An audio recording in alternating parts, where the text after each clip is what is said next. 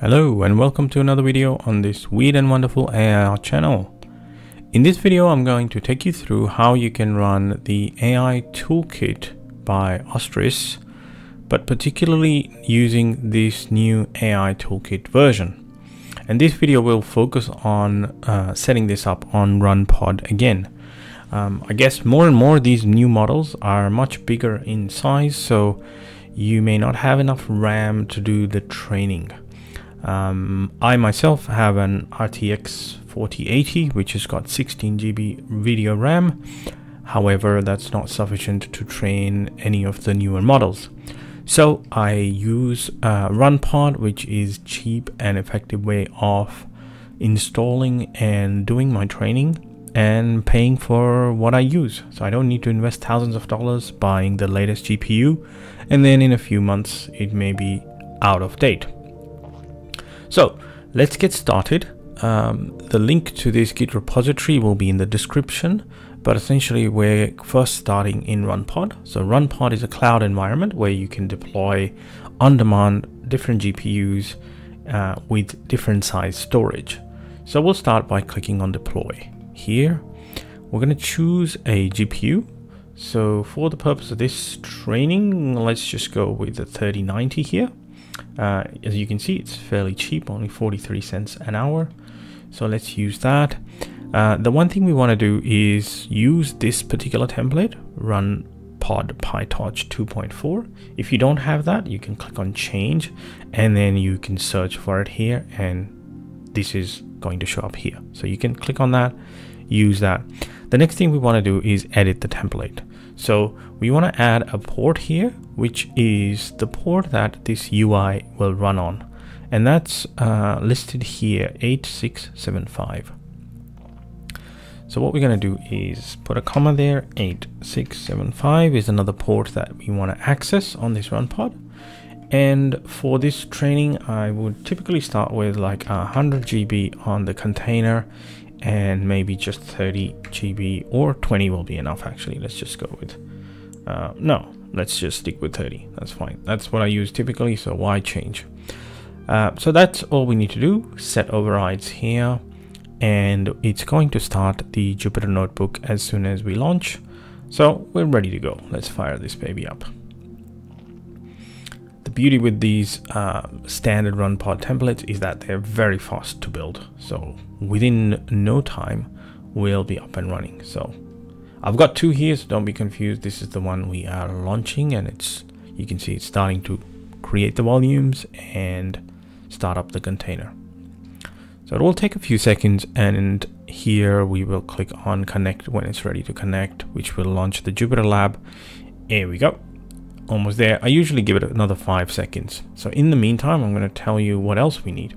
We need to install Node.js, which is one of the requirements here that uh, you need to install in order to run this beautiful, neat uh, web UI, the toolkit UI. So we'll walk through these and I'll take you through the entire process.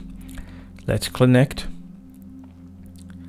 Okay, so it's saying not ready, which means it's still just booting up, catching its breath. So let's give it a second. Oh, there you go. Just got ready. So that application is launching and ready to go. This has not started because we haven't configured or installed anything. So that's normal, not to, be concerned. This one is the one we're going to go into and start our installation. With the installation, let's just let the notebook launch and the first steps we need to do is copy this entire content.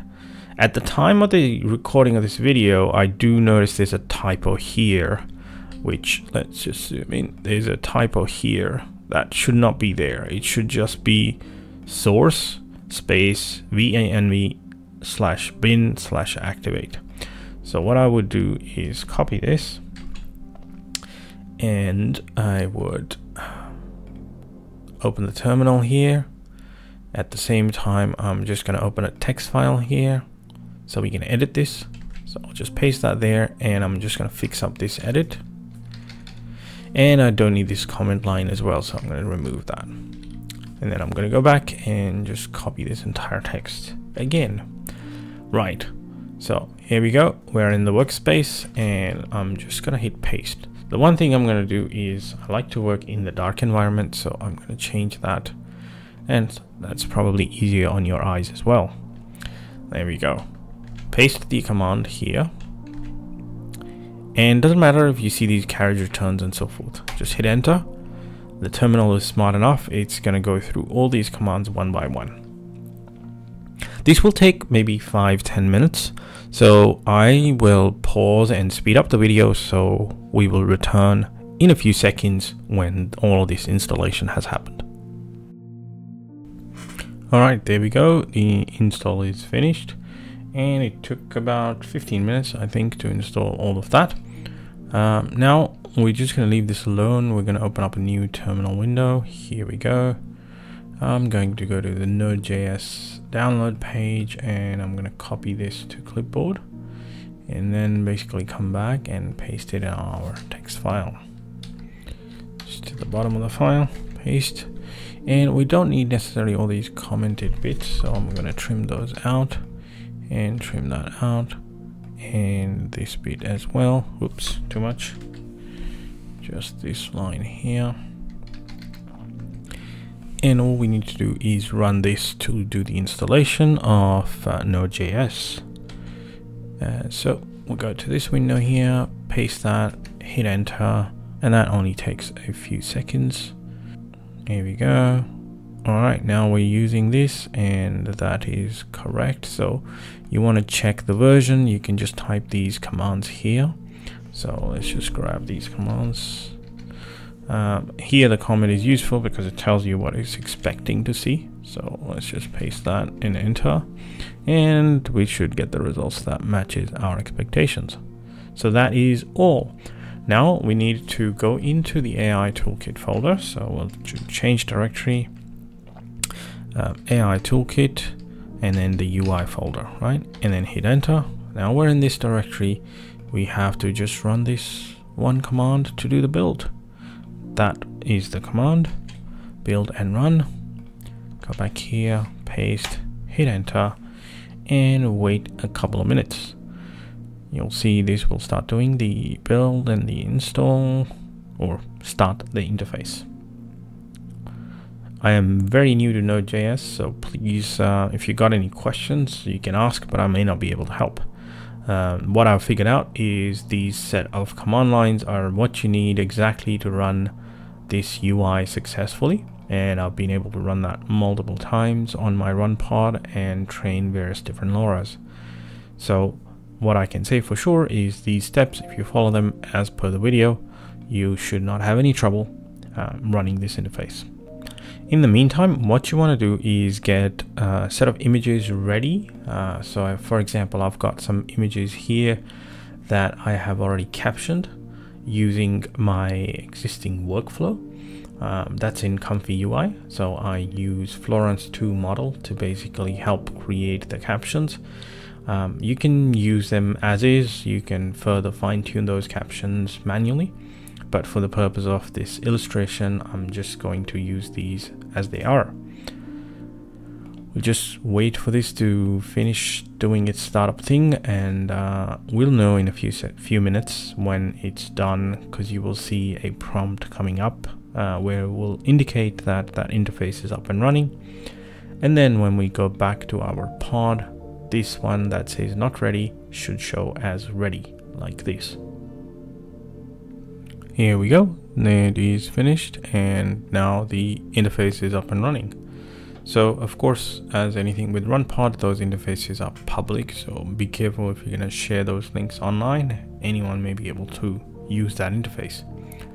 Uh, so that's up and running as we see. Let's go back here. And as I said before, the interface is up and running. So click that. And here we go. We're going to get this beautiful, well-crafted user interface that lets you set up your jobs, your dataset, and train your LoRa's. Uh, if you're going to use uh, Flux LoRa, make sure you put in into the settings your Hugging Face token. So grab your Hugging Face token, paste it here, click on save, and that's saved on the in the settings. Now let's go back to the dashboard. So you've got navigation menus on the left. You can see the GPU you're using, the temperature, the fan speed, the clock speed, uh, how much power it's drawing, and you can also see the GPU load and memory usage, which is quite cool. Here it shows active jobs. At the moment we have none. Uh, so in order to create the job, we need a data set. So we're going to start with our data set. And I'm going to create a new data set. Um, I'm to call it surreal film. Okay. Um, click create. No images found. So we're to go and add images. There we go. Uh, it's a nice clean drag and drop interface. So here are all my images. I'm grabbing images and captions together. Otherwise you'll have to caption them manually. So grab everything, drag it over, paste it here, and let it do its thing.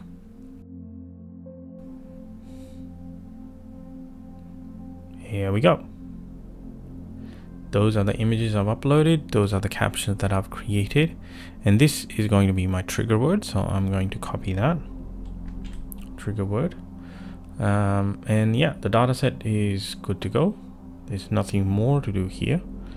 All the files, uh, images, and their text captions have been recognized and loaded. So yeah, we have our first dataset. Let's go and create a job.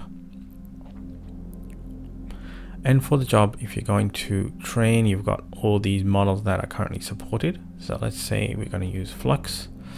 And let's just call this, yeah, um, real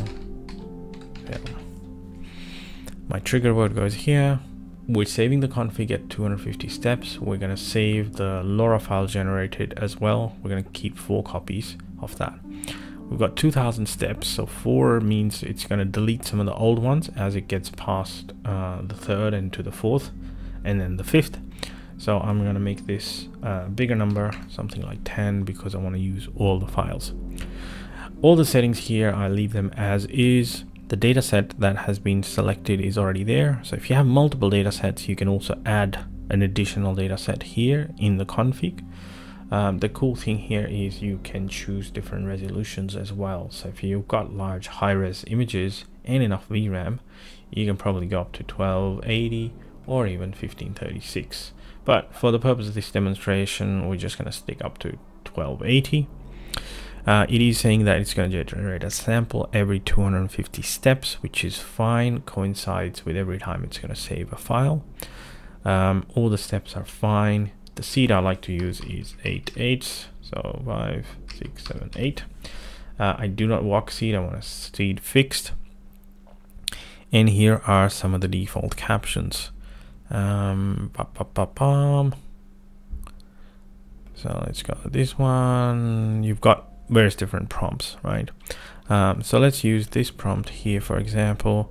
We're going to add our trigger word. You need to add those yourself, right? Uh, but I also want to see the caption without it. So I'm going to add a prompt and add it here. Um, I'm going to delete all these others. So I just want two. So I get a comparison of how these are training. So I'll have one with my prompt and the LoRa and one without it. See how that goes. I think that's the way to do it, but let's see. Um, I've never tried that comparison before, so that's the first time I'm trying that. Otherwise, you'll just put your trigger words here and have all the prompts that you want to sample with. So that is it. Create job. So we just click on the play button here to get that job going. The first time it's going to run, obviously with Flux, it's going to download the models, so it may take initial few seconds to get started. Uh, but you'll see the commands popping up here very soon. Here we go. It's getting started. Running one job and you'll see the console print out here with what it's doing next.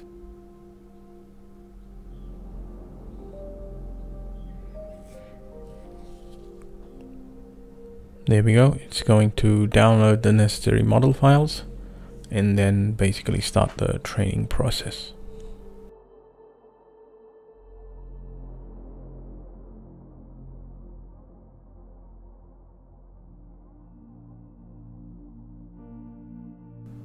All right here we go. It's starting. You can see that uh, yeah it's kind of getting started. It'll warm up and then it'll pick up speed as well. It won't take three hours. I know that for sure. Uh, it will take about an hour and a half, maybe two, depending on the GPU. Um, here we're on step five of 2000 and yeah, I just, yeah, it'd be good if we didn't have to scroll here because I've got a pretty decent sized screen. However, I still need to scroll across. Maybe this is something the author can fix in future releases. But that's essentially it. Now your training has started and our initial two baseline samples would have been generated. Um, so we'll see the two different, yeah, so this one is with our trigger word, um, does something to the, uh, yeah, kind of lens effect but here it's not affected at all but uh, yeah so as new files get generated sample files you will be able to find them here and uh, yeah that's essentially it now we're going to let this run for a little bit and generate our sample files all right so let's have a look the new sample file is generated because we've reached the first uh, 250 steps so these are the two images. Not much difference there, but uh, obviously the learning rate is, is the slow and we need to go through those series of steps. Um, you can see the file is downloaded here and of course you can click on download to download this file. Um, and yeah, it's downloading the file now and uh, all the other checkpoints that are generated will be available here. So if we go back to the dashboard, we see the overview, the job is running, uh, we're using this GPU and we also can keep an eye on it here. We don't have to go into the details. That's it for this video. Hope you found this video useful. If you've got any questions, leave them down in the comments below. And if you're new to my channel, make sure you subscribe. Um, and uh, yeah, to get started with RunPod, uh, check out my affiliate link down the bottom.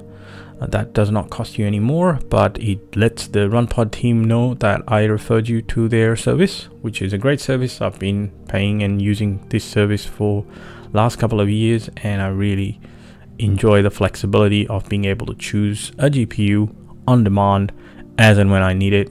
For example, here you've got a pool of massive GPU capacity and pool of variety. I can see, wow, that's new. RTX 5090 has been added. Gonna have to try this one out next. Uh, so check out another video coming on this channel looking at the 5090. That's awesome.